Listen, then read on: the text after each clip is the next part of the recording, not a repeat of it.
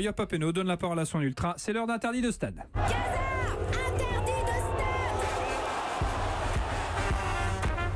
Julien Cazard, aujourd'hui vous dressez le portrait de notre invité, Johan Mikou. Johan Mikou, vous êtes né un 4 juillet, comme Tom Cruise dans le film Né un 4 juillet. Ah non, pardon. Non, vous êtes né un 24 juillet, comme Bézu.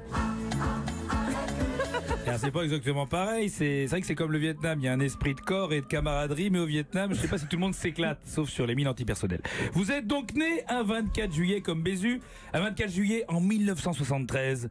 Et 1973, c'est la crise ah, les Arabes Ça commence fort. Quadruple les prix Je parle pas du prix de la brique de lait ou du paquet de chips, non, pas les Arabes de la supérette. Les Arabes du Golfe Lunettes noires, turbans, qui font exploser le prix du pétrole. Mais heureusement, Michel les renvoie dans les cordes ont le pétrole, mais ils n'ont que ça. Bien sûr On a le bon vin, Oui. on a le bon pain, etc. Ah a tout ça, nous. Enfin, ça change rien. Toi, tu viens de naître, alors tu t'en fous, Johan, oui. Je dis bien Johan. Hein, je Johan, pas Johan. Non, c'est pas pareil. D'ailleurs, on dit bien, il faut manger un yaourt. Yaourt à la fraise, yaourt à la pêche. À Marseille, on dit les janquis. Janquis de Marseille, on fait du yoga pour se détendre. Et quand on est content, on crie joupi. Voilà, ça au moins, c'est clair. Donc toi, Johan, tu nais à Cannes dans les années 70. Et les années 70, ces années-là, Cannes voit défiler des stars. Martin Scorsese, Robert De Niro, Robert Altman, Terrence Malick, Jean-Luc Godard, Alain René. Mais c'est pas du foot, c'est le festival. Et c'est drôle là, parce qu'à Cannes, Alain René, il a eu 10 nominations et il a jamais rien gagné. On dirait c'est normal pour un Rennais. Mais oui, à cette époque, les stars à Cannes, c'était pas au foot, non. Non, côté foot, c'était autre chose. Jacques Robet, Jean-Claude Larieux, Gérard Bernardet, Claude Desplanches. C'est moi glamour. Et Cannes- Didier Roustan. Voilà. Euh, Cannes, votre club de cœur. Né en 1921, et oui, il inaugure son stade un jour de Noël dans un match de gala contre le FC Barcelone qui gagne 4-0.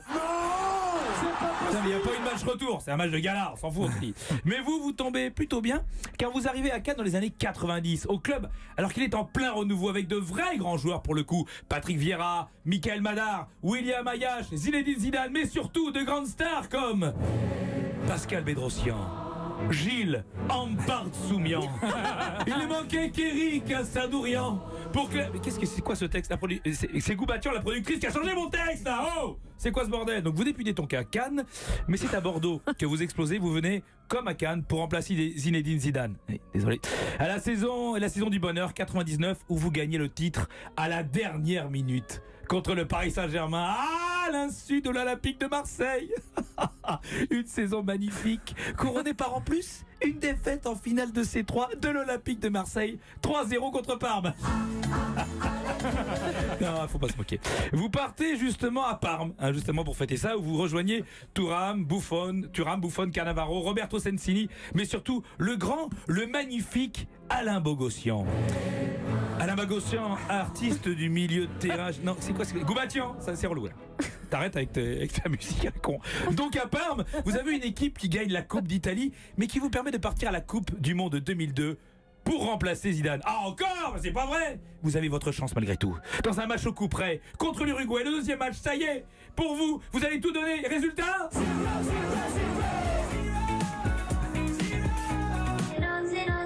Ouais. 0, 0, 0, 0 victoire, 0 but marqué, 0 point, si 1, 1 point. Donc on rentre à la maison, mais vous en avez, vous en avez ras le bol de Zidane. Donc vous vous barrez, vous signez dans un club Non, pas la Juventus, non. Vous allez au Werder de Brême. Vous êtes un demi-dieu. Le Werder, vous faites le doublé Coupe Championnat dans une année magique, l'année 2004, avec des joueurs magnifiques venus de toute l'Europe.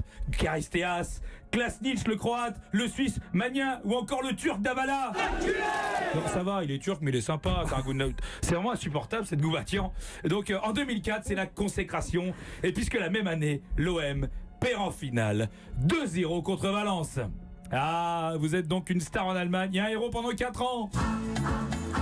Est-ce qu'on peut arrêter de se moquer des Marseillais deux secondes? On ne se moque pas. En 2005, le Werder recrute Zidane. Oh non Non, c'est Mohamed Zidane. Ça va, on s'en fout. En 2006, vous êtes sur le podium de la Bundesliga, demi-finaliste de la Coupe d'Europe. Alors forcément, quand la liste des 23 de Domenech pour la Coupe du Monde tombe, eh ben, vous n'y êtes pas.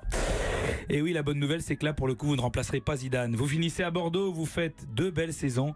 Mais votre plus belle équipe, vous la connaîtrez plus tard. Après votre carrière, vous rejoignez l'équipe du soir, celle de Duluc, Éric Blanc, mais surtout la légende, la légende Didier Roustan.